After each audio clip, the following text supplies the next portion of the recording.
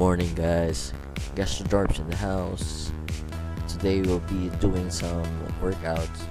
So this is the first fitness edition vlog that I'll be making. Today I weigh 102 kilos. So my goal is to uh, reduce that after one month. Doing this workout I found in the internet called the Goku workout. But we'll be making some revisions and I'll be making this one called the Goku minus workout. So tara, let's go! I call this the Goku minus kasi nag-focus ako ng isang workout.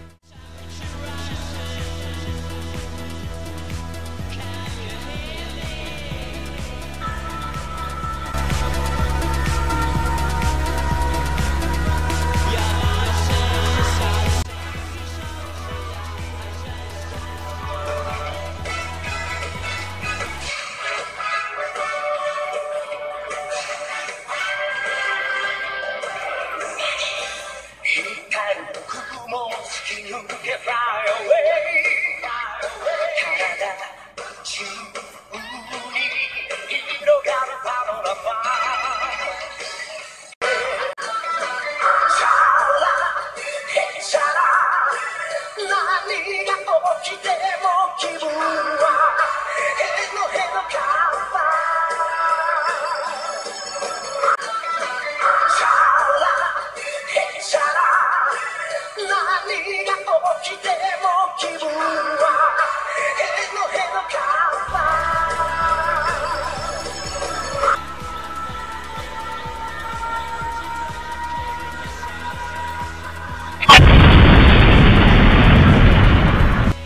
There guys, natapos ko na siya.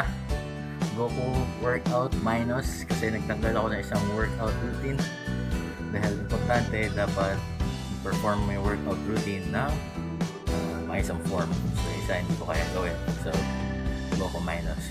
So para sa mga mahilig sa anime, uh, Dragon Ball fans, maganda to, i-try nyo. So madali lang gawin, pwedeng gawin sa bahay. So nice excuses.